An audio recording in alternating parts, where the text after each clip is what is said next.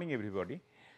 Yesterday we had a brief uh, introduction to boiling heat transfer and in that uh, I mentioned that in the process of boiling there will be nucleation due to that bubble will grow come up on the heated surface then that bubble will grow and ultimately it will depart from the heated surface. So, you can see that bubble growth is a part and parcel of the process of boiling. It is a very important step of boiling heat transfer. So, today we like to devote on bubble growth. Again some uh, preliminary introduction was given regarding bubble growth in last day's class. So, I mean to say that uh, the though I am discussing the growth of bubble in connection with boiling heat transfer, bubble growth is a process which is also encountered in other industrial situations, other day to day life situation or other natural phenomena. Like in case of boiling you can see it, in case of flashing you can uh, observe the growth of bubble. Even during degassing of liquid you can see the generation of bubble and its growth. So, my discussion will be to some extent targeted towards boiling heat transfer, but in general it can be applicable for other processes of bu bubble growth which I have just mentioned.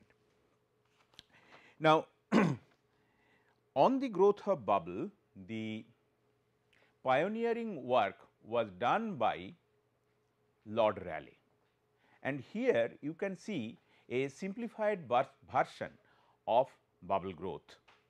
So, what has been done? In a very large bulk of fluid, a spherical bubble has been assumed. So, in actual practice, there could be a large number of bubbles and uh, the bubble shape need not be always spherical. The bubble cannot be always in the bulk of the fluid. Suppose for boiling, it will be on the heated surface but to simplify the process, here the bubble has been shown that it is in the bulk of the fluid and only a single bubble is existing. So, assumption I have mentioned here that a single bubble of spherical shape. Inside the bubble there could be vapor, there could be a permanent gas or there could be a mixture of vapor and permanent gas. So, the gas and uh, uh, gas or vapor which is there inside the bubble that will have a different or a uh, separate pressure and temperature denoted by PV and TV. Now, this pressure and temperature in the liquid that will change or that will vary as we move away from the bubble and this variation is a variation both in space and time. So, at a distance large from the bubble which mathematically one can tell that at infinity the pressure is P infinity and temperature is T infinity for the liquid. And then there is an interface of the bubble which is spherical in shape denoted by R T capital R T where R is the bubble radius again it is a function of time that is why it is denoted by R T and as the due to the growth or shrinkage of the bubble there will be change of motion or change of fluid velocity. So, conveniently we can take a spherico-symmetric coordinate that is what has been shown by the small r that is the coordinate system. So, with this we can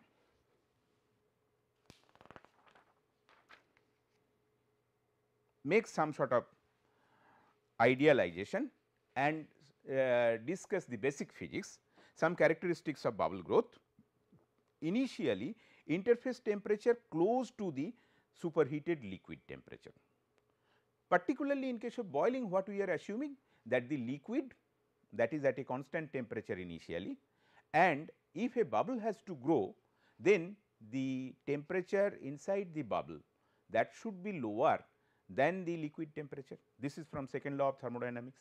So, initially we have started with a uh, hot mass of liquid which has got a temperature which is equal to T infinity. Now, inside it if a bubble has to appear the temperature of the bubble cannot be more than the temperature of the liquid rather it would be less than the temperature of the liquid.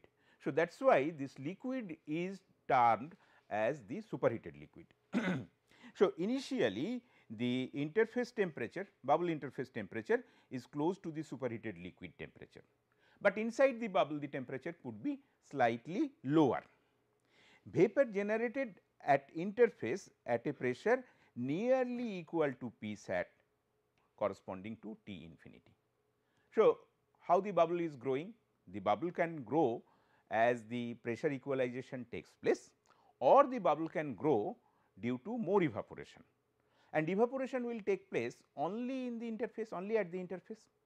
So, the pressure uh, at the interface is given by this particular particular condition that P sat T infinity it is very close to this value. As the temperature of the superheated liquid near the interface reduces with time, why it will reduce with time? Because there is heat transfer. So, if the heat transfer is there from the surrounding liquid to the bubble, so the temperature of the surrounding liquid will reduce. So, thermal energy is consumed to generate vapor that is why there will be fall in temperature. The temperature reduces towards T sat corresponding to P infinity. So, this is another condition. Then what about the pressure? Pressure inside the bubble is high initially. Initially the pressure inside the bubble is high and gradually it will drop, gradually it will become lower. Why it will gradually become lower?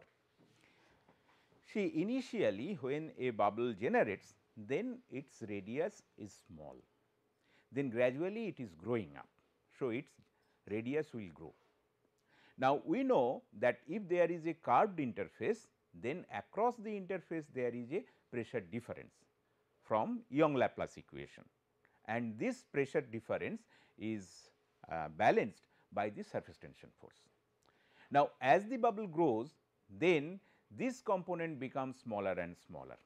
The difference of pressure between the inside of the bubble and outside liquid that becomes smaller. So, there will be drop in pressure as the bubble grows. Temperature and pressure range during the growth period are as follows. So, from this discussion we can see that during the growth period we have the pressure values within this range and we have the temperature values within this range. So, these are the pressure and temperature ranges during the growth period.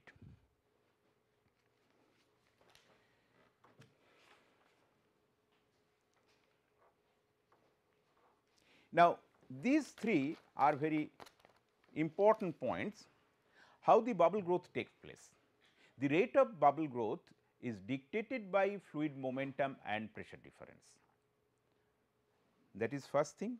Second thing rate of vaporization which depends on the rate of heat transfer. It will also depend on the rate of vaporization and rate of vaporization will depend on the rate of heat transfer. And then at the interface local thermodynamic equilibrium is assumed to exist. So, thermodynamic equilibrium will not be there over the entire bulk of the fluid considering both the vapor and the liquid, but thermodynamic equilibrium it is assumed to exist on at least at the interface. So, at the interface if the vapor pressure is given by P v so, that should be equal to P sat corresponding to T v.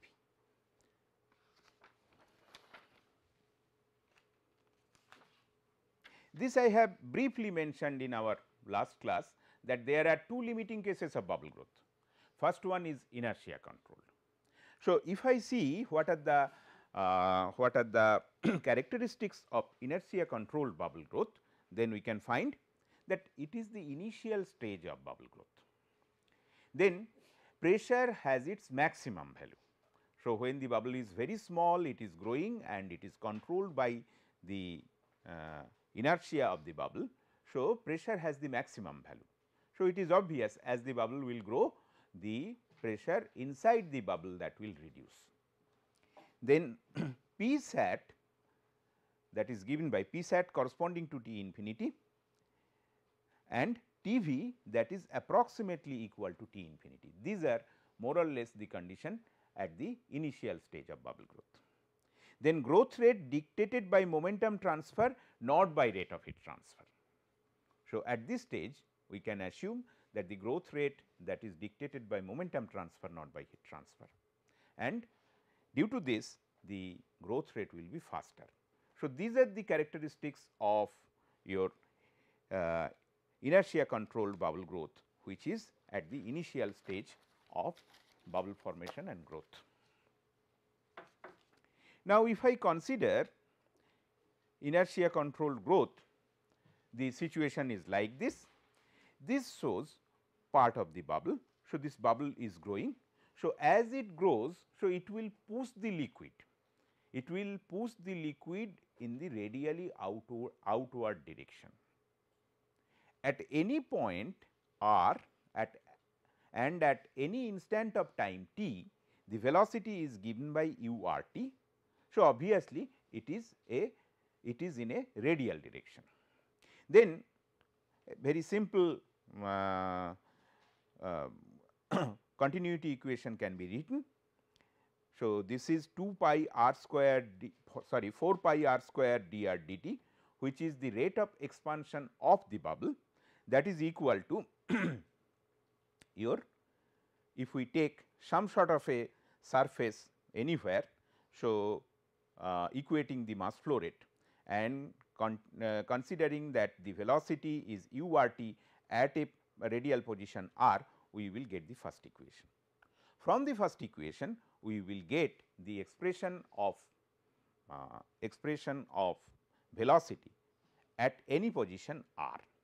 So, you can see the velocity will decrease as r increases that is quite obvious that the bubble is growing so, near the bubble the velocity will be larger and as we move away and away from the bubble the velocity will reduce. The kinetic energy of the liquid surrounding the bubble that can now be calculated very easily and you can see the kinetic energy of liquid taking the uh, liquid density as rho L. So, we can get this particular expression where integration is to be taken from r to infinity. So, within r from small r equal to 0 to capital R there is only vapor or gas. So, only beyond small r is equal to capital R we have got the liquid and that liquid is extended up to infinity. So, that is how your the limits of integrals can be explained. And then this is a very simple integration and you can get the result like this.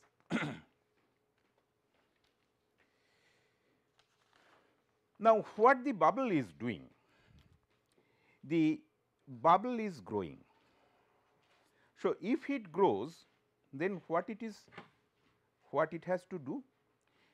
Now, if it grows it is pushing the liquid in the outward direction. So, it is doing some work on the liquid now, if it is pushing the liquid in the outward direction, so it is doing some work which is W. Where that W is going? This W is going to the liquid and, and increasing the kinetic energy of the liquid. So, we can now equate calculate what is the work done and equate it with the change in kinetic energy. That is what we are going to do in the next stage. So, net work uh, done against the surrounding liquid as bubble grows to uh, bubble grows from r equal to 0 to r is equal to r.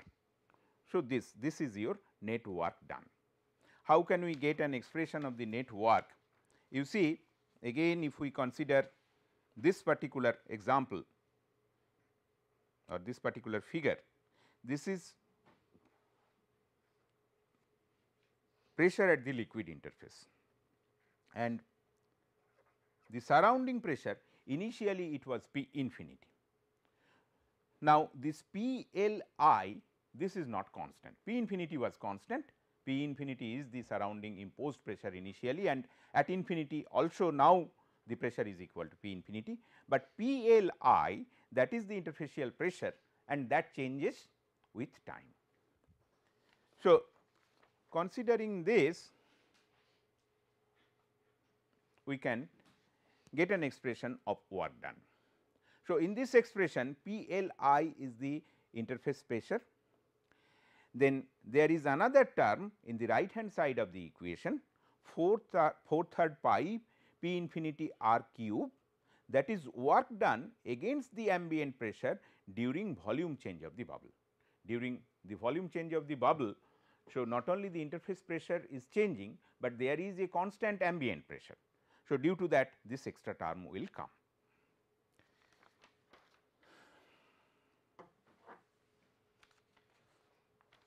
Work done and change in kinetic energy can be equated now. The way I have explained that the bubble is expanding, so it is doing some work and that work is getting stored inside the liquid as kinetic energy. So, these two things can be equated. So, if we equate them we will get equation 5 and then what we do you see that we have got one P L i. What is that? That is the interface pressure. Now, interface pressure as I have told that it will change, it will change with radius that means it will change with the time also. And we had already one variable pressure P v that is the pressure inside the bubble. So, let us try to relate between P v and P L i and that can be done very easily with the help of Young Laplace equation. So, P v and P L i can be related introducing surface tension of the liquid by this particular equation.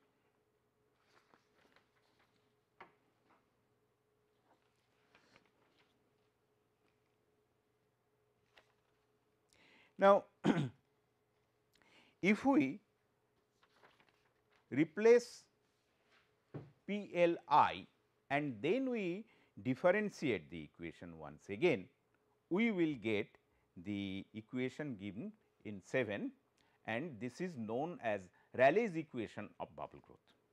This is a very well known equation and you see here we are getting a nonlinear differential equation for the bubble radius capital R with respect to t where we have got these variables. What are these variables?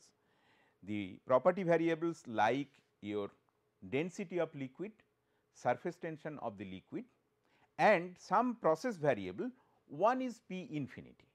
This P infinity is the pressure in the liquid field at some distance from the bubble and another is P v that is your vapor pressure within the bubble. Now, you see for all practical purposes one can assume rho L and sigma to be constant. So, we are taking a liquid for which there is no variation of rho L and sigma. P infinity is the imposed pressure field. So, either one depending on the situation either one can take it as constant or the way you are imposing the pressure field you can give a mathematical expression for this. P v is the vapor pressure which is related to the temperature and the relationship will come from the equation of state. So, you see the situation I will come back to this equation once again, but the situation is like this that you have got a bubble inside this is P v which is a variable pressure. Here we have got P infinity which is the liquid pressure. It has to be known either it is to be constant or let us say that we are considering a situation where we have got a bubble and this piston is having some sort of a sinusoidal motion. That means, the P infinity that is a sinusoidal function. So, for all these cases we can we should be able to at least theoretically we should be able to solve the Rayleigh equation. So, if I solve the Rayleigh equation then I will get how r is changing with time that means how the bubble growth is taking place. Two, three points are to be noted from Rayleigh's equation. First thing, how I have derived the equation, I have determined what is the work done by the bubble due to the expansion process and that work done is going to increase the kinetic energy of the fluid. So, I have equated this. This is one approach.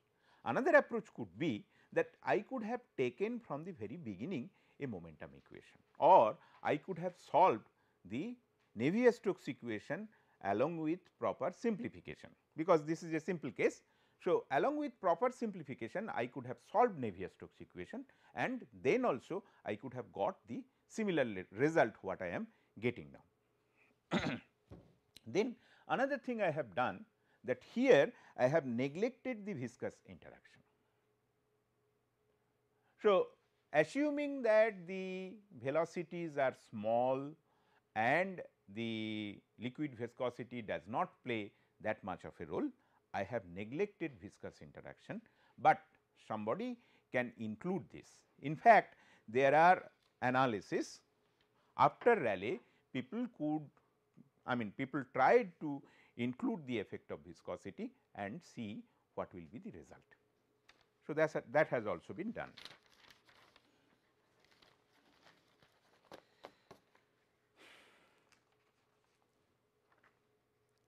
Now, you see for inertia controlled growth P v is minus P infinity that is for the initial stage is much larger compared to 2 sigma by r. That means, the pressure change is due to inertia is much larger compared to the pressure difference imposed by the capillarity. So, neglecting the last term, the last term can be neglected and we can induce or we can uh, take the help of Clausius Clapeyron equation, then P v minus P infinity that can be written by the equation written in 8. So, equation 8 gives a relationship between P v and P infinity. Then again we can make another assumption that at the initial stage T v is almost equal to T infinity so, if I assume T v is almost equal to T infinity what happens that T v no longer depends on time, it becomes a constant. So, for inertia controlled growth then we can get some sort of a relationship by this simplification without this simplification it cannot be solved that non non-linear differential equation. So, now it can be solved and we can get R t that means the radius as a function of t as this particular equation. Let us look into this equation bit carefully. So, variation of bubble radius with time in inertia controlled growth is given by the equation 9 and this equation it satisfies the initial condition r is equal to 0 at t is equal to 0. You see so, R t is a function is a direct function of t. So, if t is equal to 0 then R is equal to 0 that also satisfies the initial condition. Then radius increases with time during this phase and it this increase is linear increase. Okay. And uh, let us see whether it is whether it is uh, I mean conforming to physics or not. see how it is increasing. If the difference between T infinity in T saturated that is more then the increase will also be more. Okay. And what we can see that if HLV is more, HLV is the latent heat of vaporization. So, if the latent heat is more then also this increase is more. Okay.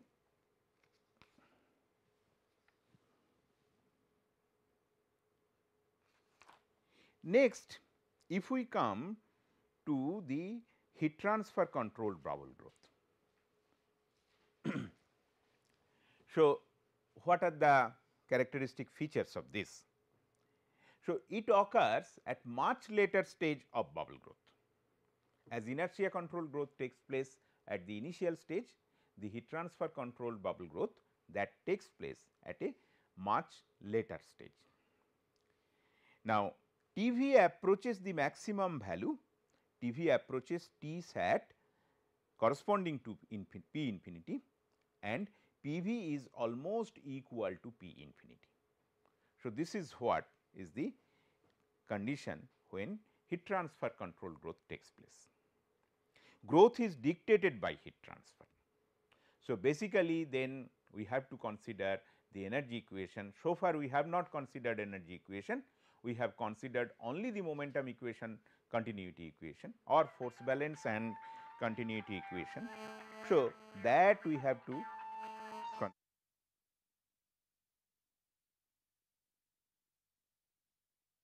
okay.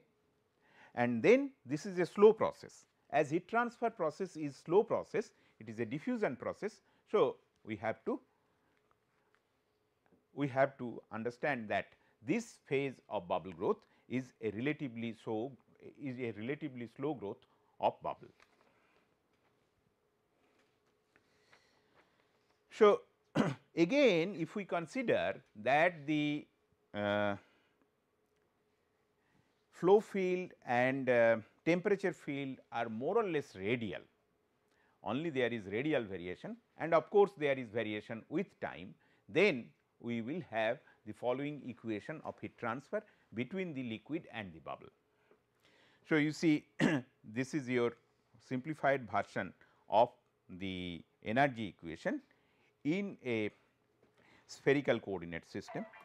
In this spherical coordinate system, in this spherical coordinate system we have considered only r and we have considered only r and alpha L that is the what is alpha L that is the thermal diffusivity of the liquid. Okay. Then in this equation u is coming which is the bubble velocity and bubble velocity already we have derived. So, this what is given by equation 12 that we can substitute in equation 11 and then we can consider what are the initial and boundary conditions. What is the initial condition? Initial condition is that initial initially the entire field of liquid is having a uniform temperature T infinity and then T R T is equal to T saturated. That means, at whatever time it may be at the interface there will be saturation temperature corresponding to the pressure of the bubble and at infinity at all the time the temperature is T infinity. So, these are the three conditions first one is the initial condition and then the second and third those are the boundary conditions. Additionally, we have to consider another energy conservation equation that is at the interface. So, at the interface whatever conduction of heat will be that will be consumed for the generation of vapor. So, you see this is a very simple uh, energy conservation equation at the interface. Now, energy equation can now be solved by both approximate and exact methods. Now, obviously, the solutions are not very easy to do and uh, exact solution particularly is very involved. So, what has been done a an approximate solution has been given here and this approximate solution assumes that it is for large Jakob number. Jakob number has been defined later on. So, if it is solved for a large Jakob number then variation of r with t we are getting by this equation 15, where CR that is a function of Jakob number and the Jakob number is defined Jakob number is a non-dimensional number it is defined by equation 16. So, what is Jakob number? Jakob number actually is a relationship between the change of energy or between the energy contained by a fluid for I mean stored energy it is kind of a stored energy and it is given by the Cp specific heat of the fluid corresponding to that the energy which is needed for phase transfer. So, the ratio of these two energy that is your Jakob energy sorry Jakob number. Now, physical significance is that that when there is a an extra amount of evaporation for the growth of the bubble, then there will be a change in temperature of the surrounding liquid.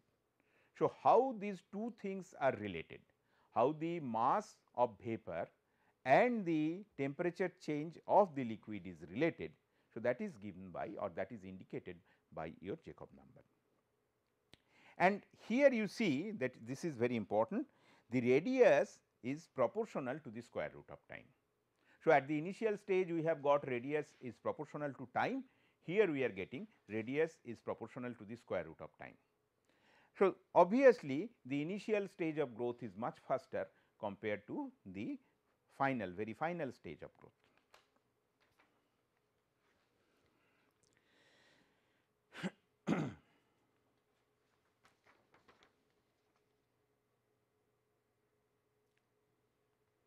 now, you see that we have got two limiting relationship one is for the initial stage of growth and another is for the final stage of growth.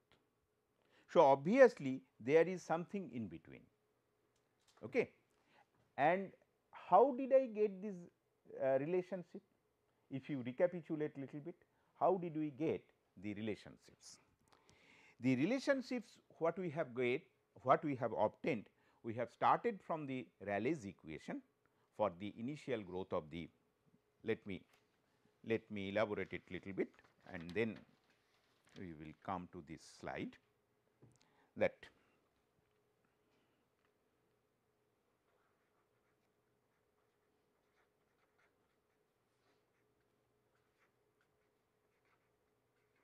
growth stages.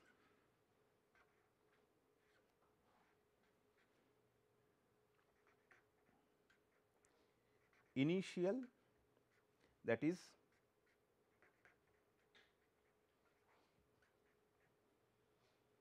inertia controlled.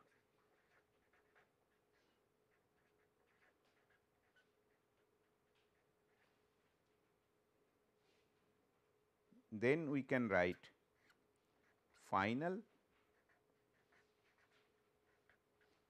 that is heat transfer controlled.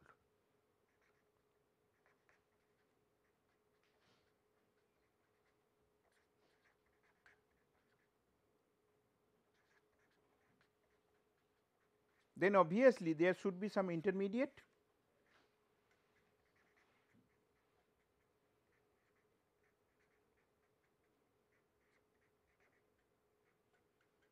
and logically this intermediate stage should be controlled both by inertia and heat transfer.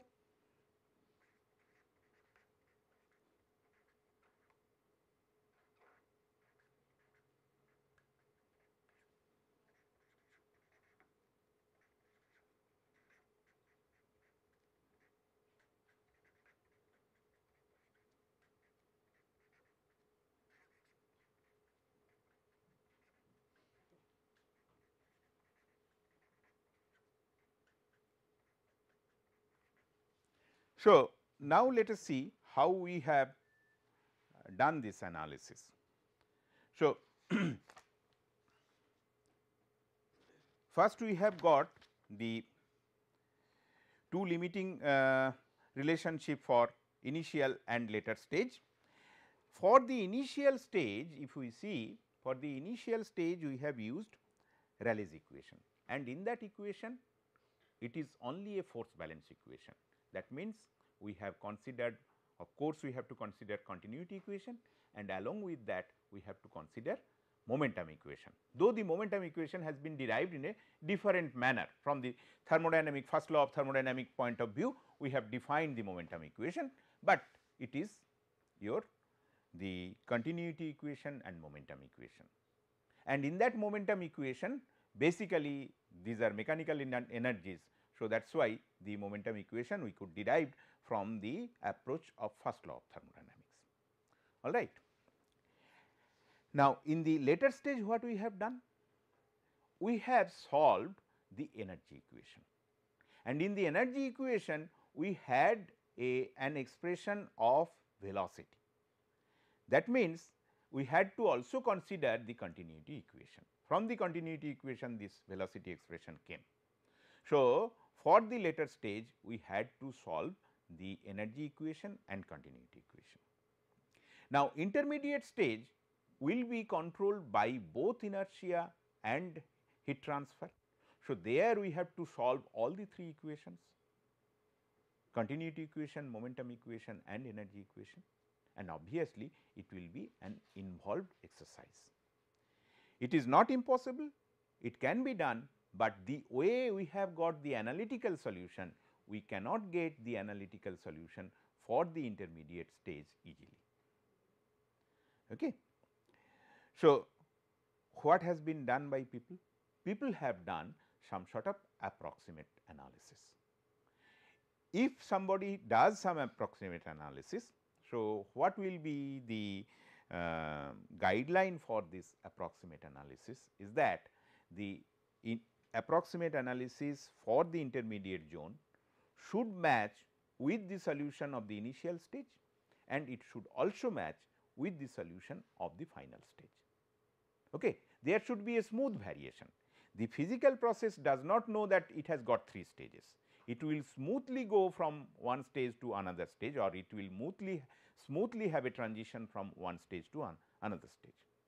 Only we engineers for our own benefit or for our own convenience, what we do? We define that it is first stage, second stage, third stage like that.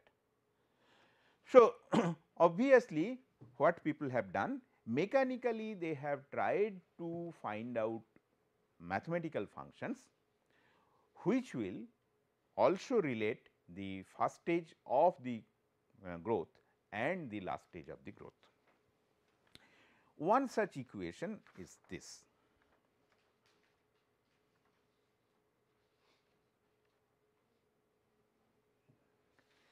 So, if you write down this equation, it is r plus that is related to t plus. So far we have dealt with dimensional variables, now we are dealing with non-dimensional variable. So, r plus is the non-dimensional temperature and t plus is the non-dimensional time.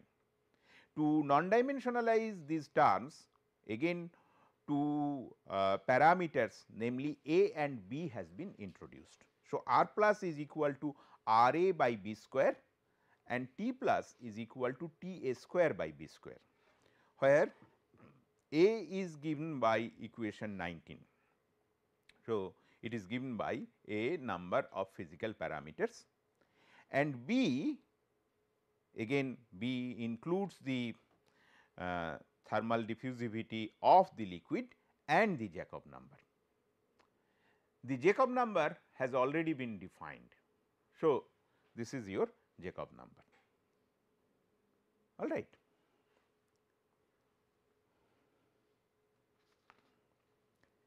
Now, you see the relationship given in 17, we have to take it carefully. Now, what I have shown the derivation for initial stage of growth and final stage of growth, though these have been these these these equations have been derived with some approximation, these equations can correlate with the or can explain the experimental result also very well.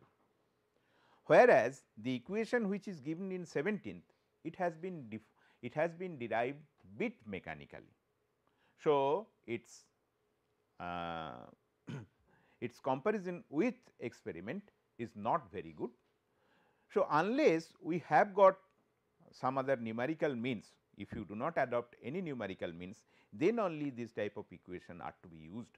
Otherwise, I mean we do not recommend the use of this equation. If somebody has got a better means of finding out the change of R with time during the intermediate phase, somebody if somebody can solve the entire Navier-Stokes equation along with the energy equation and continuity equation, then he should do it. Otherwise, if quickly we have to guess the value of r how it is changing with time, then probably the equation of the form which is given in 17 that can be used. It would be a good exercise that if you take this equation and uh, try to check it with the limiting value of bubble growth for the initial and final stage. For that what you have to do? For that initial stage you have to take a very small value of t and for the final value final stage you have to take a large value of t that means time. And you see how these equations are telling with the earlier equation separate equations given for the initial growth stage and final growth stage. Okay. So, this is an exercise which you should do.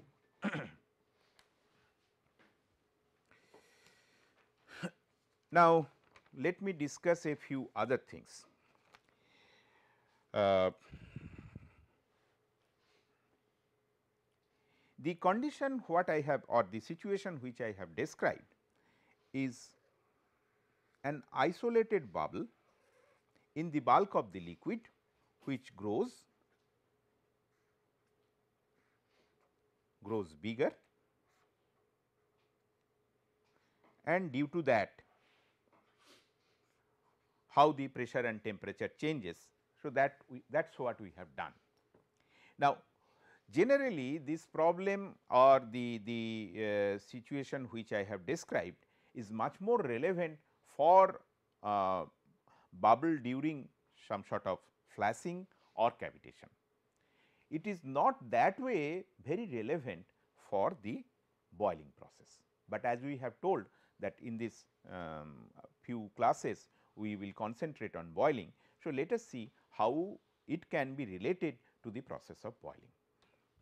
Now, in the process of boiling what will happen that we have got a heated surface and on the heated surface we will have growth of bubble. So, on the heated surface we will have the growth of bubble. Now, let us see what are the difference between the earlier process and this process. The difference first difference is that it is not an infinite bulk of liquid, it is attached to a surface. At the top the bulk, uh, bulk of the liquid may extend up to infinity, but one side its growth is restricted by the solid wall. Second thing is that it is not completely spherical. Okay. It can have different shapes and it is not completely spherical. Third thing which of course, we have neglected in the previous case and in this case also for the time being we will neglect, but it is important that in an on an uh, on a on a practical surface when boiling takes place there is not a single bubble there could be number of bubbles. So, initially let us say there are two small bubbles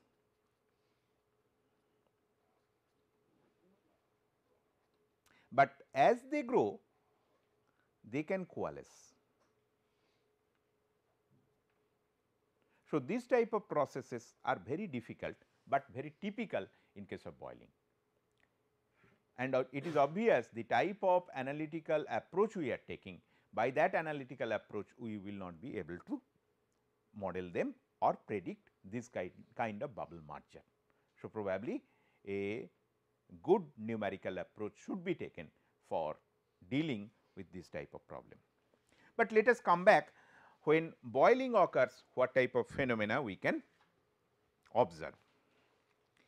A normal surface by our naked eye may appear very smooth and we can take lot of uh, precautions we have we can take lot of precaution to make the surface very smooth that means good machining, polishing etc. we can do. But if we see it under some magnification, we will find that there are number of cracks, crevices, okay, grooves micro grooves etcetera we can find. So, this will be the nature of the actual surface. Now, you can see or you can well imagine appreciate that it is very difficult to characterize this surface uh, in a very definitive term, because the cracks and crevices will have different geometry, shape, size and distribution and it will depend on a very large number of parameters. Those parameters are the material which I am using, the type of machining process surface finishing process I have adopted, the suppose I am I am doing boiling studies on it. So, the type of oxidation it has gone through okay. during boiling heating is there. So, there could be uh, oxidation and also during boiling there could be fouling and contamination. So, the type of fouling and contamination this surface has experienced. Okay. So, depending all this we will have the um, shape and size of the cracks and interstices like this. Now, all these cracks or grooves what it will do before the liquid is poured over it. So, in these cracks and crevices we will have some permanent gas. This permanent gas is nothing but air for the time being we can think that it is air. It could be other permanent gas also. So, it is air, but as these are very small. So, when it is filled up with when the surface is in contact with the liquid. So, the air that will not come out of these cracks that will stay inside the cracks itself and they has got I mean they have got a very premier role very very important role as far as the boiling process is concerned as far as the bubble generation is concerned. Now, these are called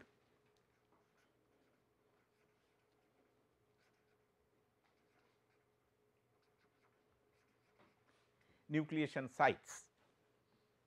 For boiling heat transfer these are known as nucleation sites and they will give rise to the evolution of bubble. Now, again it has to be told, it has to be noted that these nucleation sites all of them are not operative together. What is what it means that a particular nucleation site will be operative only at a particular temperature. Not that at every temperature I mean at each and every temperature we will find all the nucleation sites working. I will draw your attention to a common day to day phenomena. Suppose you are boiling water on a pan, just observe what is happening. Initially the water is at room temperature, then slowly the temperature of the water increases. How it is increasing? Because slowly the temperature of the bottom wall of the pan that increases and then you will find that we will have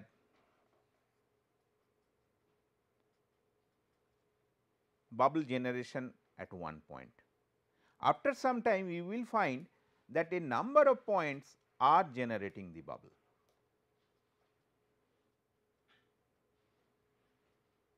That means, with time as the surface temperature has increased, we are having more number of nucleation sites. Okay. So, as I have told that the nucleation site that will depend on the temperature also. Not only it will depend how the material has been uh, uh, prepared. So, it will depend also on the temperature of the surface or in other words the nucleation sites which are there already in the surface, they will get activated more number of nucleation sites will get activated as the temperature increases. So, this is another feature. The third thing which we can see that what is the role of the nucleation sites.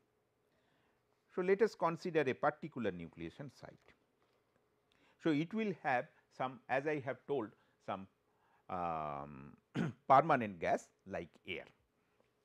And it will from the name it suggests that it will it is helping in the nucleation of bubble. So, nucleation of bubble how it is helping that it will give one or two molecule or maybe a few molecule of the permanent gas to form as the bubble nucleus. So, if we consider this surface, this is at T wall and heat is coming from this side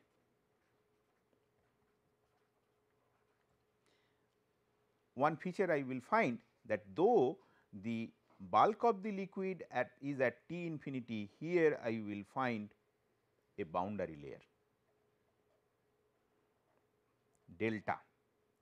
So, this is a heated boundary layer whose temperature is more than the T infinity and T infinity if I call it T saturated then in the boundary layer the temperature of the liquid is more than the saturation temperature. So, this is one very important thing you consider that though near the wall we will have liquid at a temperature more than the saturation temperature boiling will not take place.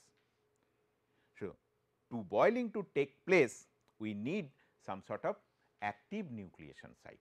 So, from the active nucleation site now the boiling will take place. So, here a bubble will first generate or nucleate, then it will grow. Probably that growth stage we can correlate with the bubble growth which we have studied so far and that is what we are going to do in our next class. If there is any question please.